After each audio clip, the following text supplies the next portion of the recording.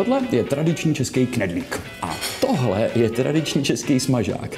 Ale my Češi bychom tyhle ty dvě věci rozhodně nikdy nejedli, když jsou takhle spolu. Ale jsou lidi, kteří to dělají. Dnešní video bude plný stereotypů a nějakých našich domněnek, ale jestli jsme si u jedné věci jistí, že by Češi nikdy, tak to je, že by si nikdy neobjednali smažák společně s knedlíkem. My jsme v Havelské koruně, aby jsme to tady mohli nailustrovat a ptali jsme se. Objednal si někdo z Čech takovouhle kombinaci? Třeba někdo z rýži, já taky. Ale Čech si, Čech si tohle někdy objednal? Ne. Ne. Slováci z rýži. Slováci z rejží. My děláme videa hlavně pro zahraniční turisty, takže vám to vysvětlovat nemusím. Takovýhle knedlík jedině s koprovkou za mě a smažák. Krokety nebo hranolky? Honzí prý brambory. Uh, nikdy. No a já jsem na začátku tenhle ten knedlík, a už to nebudu dělat, to je úplně hrozné, držel v ruce, tak to samozřejmě bychom nikdy neudělali. Tady pořád doufám, že do této části videa se na všem shodneme. Turisti to dělají. Vezmou si knedlík do ruky, takhle ho vymáchají ve omáčce a kousnou si. Myslím, že to může být způsobené i tím, že anglicky se může říct třeba bread dumpling, takže oni si myslí, že to je vlastně chleba, který si k tomu dávají. Asi kdybyste ke guláši dostali chleba, tak ho vezmete rukou a nebudete ho krájet. Oh, Czechs would never cut bread with silverware, right? Hmm, právě jsme objevili nový Czechs Would Never. Jdeme na další Czechs Would Never, ale myslím, že během natáčení přijdeme na další a hlavně já se nejvíc těším na diskuzi u tohohle videa. Tuhle tu věc, kterou by měli prodávat jenom u suchý dásně, musíme něčím spláchnout, tak to samozřejmě je skvělým českým pivem, který Češi milují. Ale takovýhle pivo by asi Češi nikdy nepili. Opět turisti nechápou, proč tam máme tu bílou pěnu, proč tam máme tu hlavu, jak oni říkají, no tak eh, pro nás je pěna zásadní. Takovýhle pivo si objednat můžete, a jmenuje se Čochtan a já jsem nikdy neviděl nikoho, kdo by si ho objednal. Xkrát jsme o tom točili video, mlíko, šnit, hladinka čochtan, ale kdo si sakra objednává čochtana, to nevím.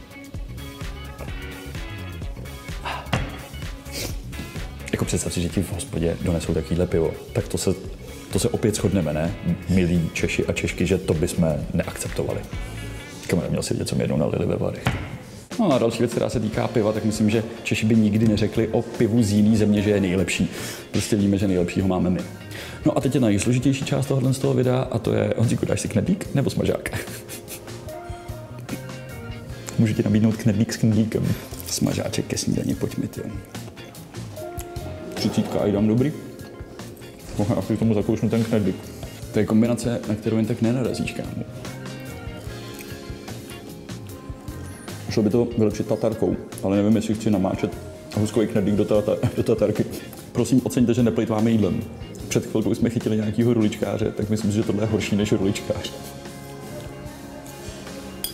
No. Je to v pohodě.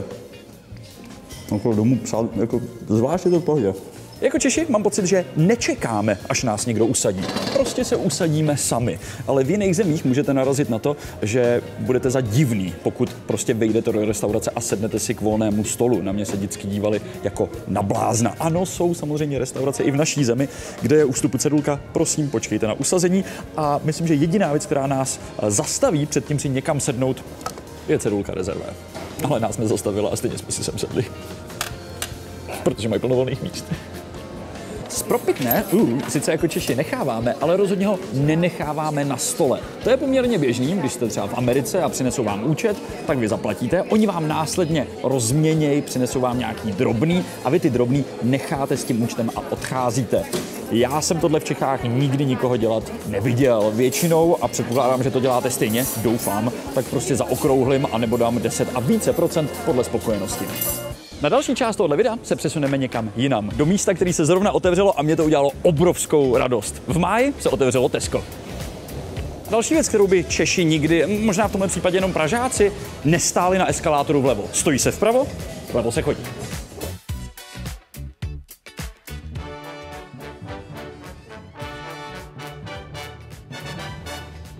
Češi by si určitě nikdy nekoupili vodu. Eh, pardon, vodu by si možná někdy koupili, ale ne v balení dalších 40 vod. Říkáte si, cože? Nic takového neexistuje. Existuje. Honzík se právě vrátil ze Spojených států a když si chcete koupit jednu vodu, tak si musíte koupit i dalších 39. Chcete vodu v Americe, není problém a můžete si vybrat, jestli chcete balení 35 půl litrovek, nebo 28, nebo 40, ale vždycky to bude půl litrovka. A teda jenom bych chtěl dodat, že toho odpadu, co vznikne, když vypijete tenhle ten balík vod a že to dlouho netrvá, kupujeme to třeba každý dva dny. Ach, nic moc. Američany ostatně často překvapí a možná bych řekl potěší, že si tu věc můžou koupit jednu. Ale ano, můžete si koupit i pack 6 vod a co dalšího může turisty překvapit je, když přijdou sem do Teska a vidí, že jedna voda stojí 7 korun, to znamená, že ten pack stojí 6x7 versus 840 korun, což je částka, za kterou prodávají 6 vod v turistickém minimarketu. Stačí přijít do Teska a najednou je to 15krát levnější, to je docela rozdíl. Na rozdíl od turistů, my jako Češi bychom lahev rozhodně nikdy nevyhodili, protože víme, že je zálohovaná a proto si je nosíme zpátky do obchodu. A já vždycky, když jí strkám do tohohle automatu, tak si vzpomenu na pana Svěráka a vratné lahve. Američani mají dlouhé uličky s ceráliema, my máme dlouhé uličky s pomazánkama. A tady si můžete koupit skvělý český vlašáček. Dřív tady byl pult, kde jste si to museli objednat. A já když jsem vymýšlel epizodu, co by Češi nikdy neudělali, tak jedno, co mě napadlo, je, že by si nikdy neobjednali věc, která je na váhu na gramy gramama. Vždycky se říká 15 deka vlašáku, prosím. Já si myslím, že deka je taková míra, kterou si dovedeme představit jenom s vlašákem. Že vlastně my nevíme moc, co je deka. Deka je prostě 15 deka je tolik vlašáku.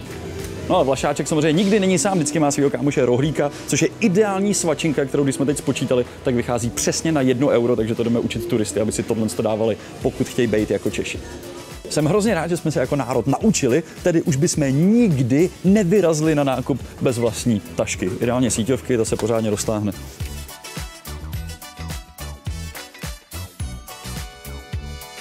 Tuto epizodu jsme částečně udělali ve spolupráci se společností Tesco já bych vám za to chtěl poděkovat, ale hlavně za to, že se tahle prodejna znovu otevřela tady v máji v centru Prahy. Chyběli jste nám tady pro normální kluky a holky z Prahy koupit si něco normálního v obchodě. Tady bylo fakt složitý, takže super, že jste zpátky. A pro vás, mladý pane, je to 23,90.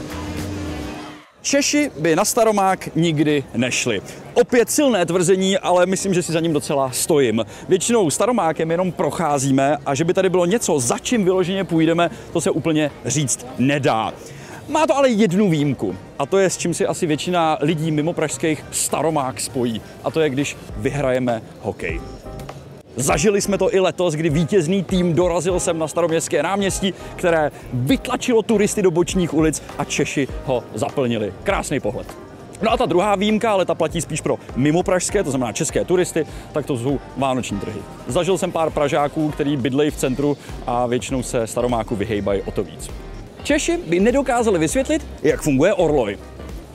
Ano, je to tvrdý statement, proto jsme ho ověřili. Dokážete vysvětlit, jak funguje Orloj?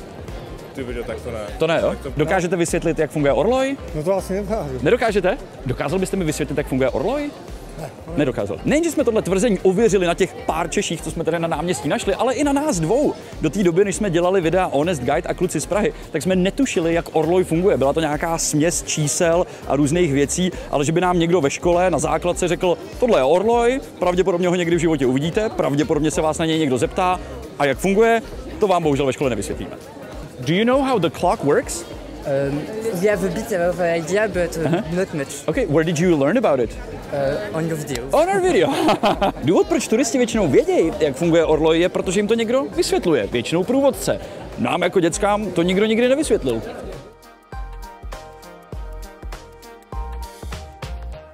My jsme se zeptali i vás na Instagramech, eh, jak byste dokončili větu Češi by nikdy. A překvapivě zajímavější věci přišly od eh, našich zahraničních diváků, tak zde je pár.